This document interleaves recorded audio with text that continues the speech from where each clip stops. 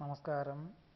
ചതയ നക്ഷത്രത്തിൽ ജനിച്ചവർക്ക് തൊഴിൽ മേഖലകളോട് അനുബന്ധമായിട്ട് പുതിയ ശാസ്ത്ര പരീക്ഷണ ശാസ്ത്ര പരീക്ഷണ നിരീക്ഷണങ്ങൾക്ക് തുടക്കം കുറിക്കുവാനുള്ള സാഹചര്യം ഈ മാസത്തിൽ വന്നു ചേരുവാനിടയുണ്ട്. ഉദ്യോഗത്തിൽ സ്ഥാനക്കയറ്റം ലഭിക്കും.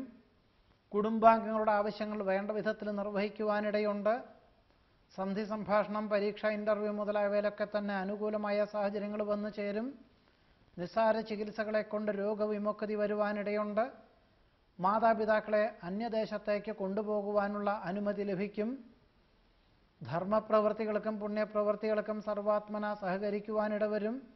പുണ്യതീർത്ഥ ഉല്ലാസ വിനോദയാത്ര മംഗളമാക്കി തീർക്കുവാൻ സാധ്യതയുണ്ട്. വാഹനം മാറ്റി വാങ്ങുവാൻ തീരുമാനിക്കും. നിലവിലുള്ള ഗ്രഹത്തിന് വാസ്തുപിഴ വാസ്തുശാസ്ത്രപ്പിഴയുള്ളതിനാൽ വിൽപ്പന ചെയ്ത് മറ്റൊരു ഗൃഹം വാങ്ങിക്കുന്നതിനുള്ള സാഹചര്യം ഉണ്ടായിത്തീരും ആധ്യാത്മിക ആത്മീയ ചിന്തകൾ മനസ്സമാധാനത്തിന് വഴിയൊരുക്കുവാനിടയുണ്ട്. ഭാവനകൾ യാഥാർത്ഥ്യമാകും. വ്യാപാര വിപണന വിതരണ മേഖലകളിൽ പുതിയ ആശയം അവലംബിക്കുവാനും പ്രതീക്ഷിച്ചതിലുപരി സാമ്പത്തികമായ നേട്ടം ഉണ്ടാകുവാനും ഇടയുണ്ട്. ഔദ്യോഗികമായിട്ടുള്ള മേഖലകളിൽ നിലവിലുള്ള പാഠ്യപദ്ധതി അവലംബിക്കുവാനുള്ള അവസരം ഉണ്ടായിത്തീരും. പദ്ധതി സമർപ്പണത്തിൽ ലക്ഷ്യപ്രാപ്തി നേടുവാനിടയുണ്ട്.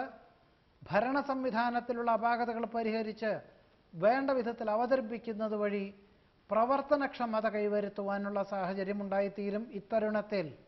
മേലധികാരികളിൽ നിന്നും അനുമോദനങ്ങൾ വന്നു ചേരുവാനും ഈ നവംബർ മാസത്തിൽ സാധ്യതയുണ്ട്.